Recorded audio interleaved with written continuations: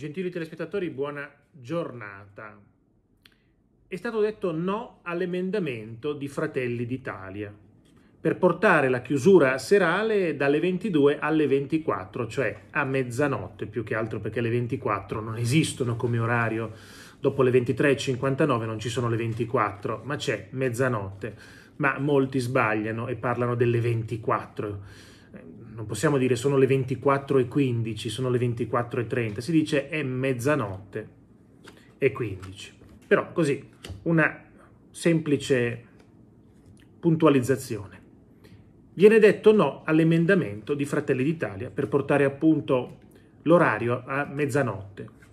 Che cos'è un emendamento? È una proposta una proposta di modifica della legge che si sta discutendo. In Parlamento, in Senato li chiamano emendamenti e viene presentato al Senato nel decreto, nell'ultimo decreto legge.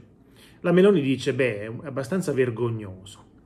Dice così, al Senato bocciato l'emendamento di Fratelli d'Italia al decreto per posticipare almeno alle ore 24 il coprifuoco. Ancora una volta la maggioranza in Parlamento sostiene le misure liberticide e anticostituzionali del governo.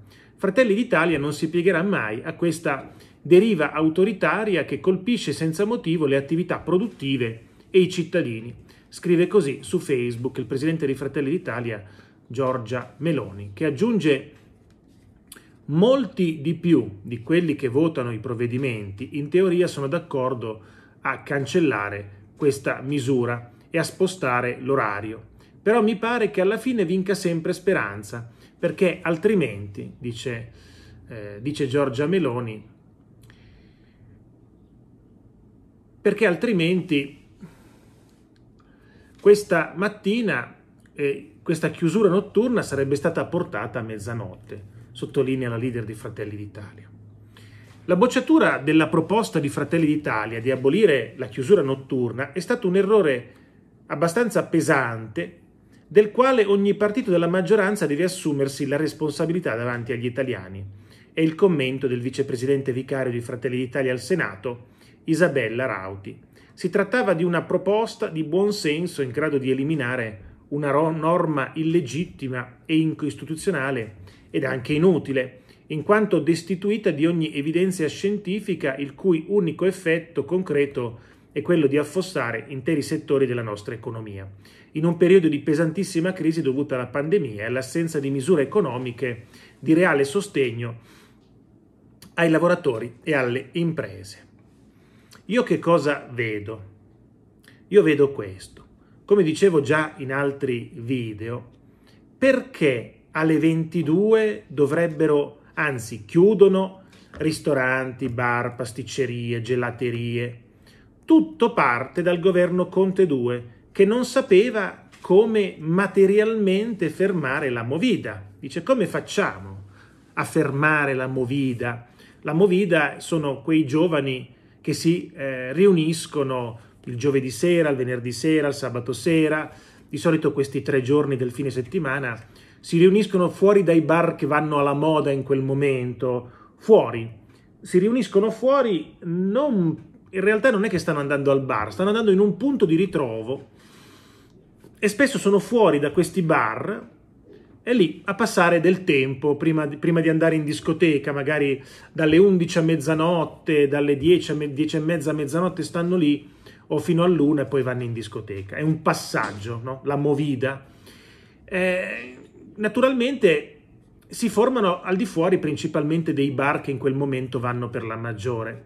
Il governo non aveva né mezzi né modo di controllare tutta la movida italiana, tutti i bar d'Italia, perché tu controlli un bar e i ragazzi e le ragazze si spostano da un'altra parte. Non sapendo come controllare questo, che cosa facevano? Hanno chi- ah, cosa hanno fatto? Hanno chiuso alle 22, dice così ci togliamo il pensiero tutti a casa e così non abbiamo il problema, non abbiamo gli uomini, i mezzi, come facciamo a controllare tutta Italia. Questo è il fatto della chiusura alle 22. Non la spostano alle 23 o a mezzanotte, non, non per altro, ma perché hanno paura che Se la sposti alle 24, il bar chiude alle 24, di nuovo fuori dal bar si ricominceranno ad, ad assembrare ragazzi e ragazze per la famosa movida. Questa è la realtà. Naturalmente eh, non puoi dire il bar lo chiudo, il ristorante no, la trattoria sì, la gelateria forse, se non è un punto di movida la gelateria. Quante gelaterie sono punti di ritrovi? Anche nelle, nelle città di mare, fuori dalla gelateria c'è il gruppo di persone che sta lì. Ecco, le ho viste anch'io, no? Ecco, per, è per questo che non vogliono spostare questa chiusura notturna, non tanto perché problema di trasmissione eh, dentro il ristorante, fuori dal ristorante, perché qual è la differenza di stare a mangiare fuori fino alle 22 o fino alle 23 o fino a mezzanotte? Che cosa cambia se tu stai a mangiare al ristorante fino alle 22 o fino alle 23? Non cambia assolutamente nulla. Il problema è quello che vi dicevo, che vi dicevo prima, proprio del, del, del, del, della movida. Questo è il fatto. Lo andranno adesso a spostare l'orario, a cancellare completamente quando avranno eh, somministrato tante vaccinazioni e non avranno più così paura al governo della movida giovanile. Questa è la realtà che, eh, che però quasi nessuno menziona e si parla dell'orario perché 22, perché 23, perché il ristorante dentro noi, fuori sì ma la reale motivazione è assolutamente questa, non c'è ombra di dubbio. Per chi se l'è dimenticata ve la ricordo, ecco, questa risale al governo Conte 2 quando ha messo, ha messo le prime restrizioni, poi si sono accorti che la movida continuava, vi ricordate, il Navigli a Milano, fuori dai bar, e i ragazzi continuano a vedersi e, e poi hanno messo sto coprifuoco così, dicono non ci pensiamo più.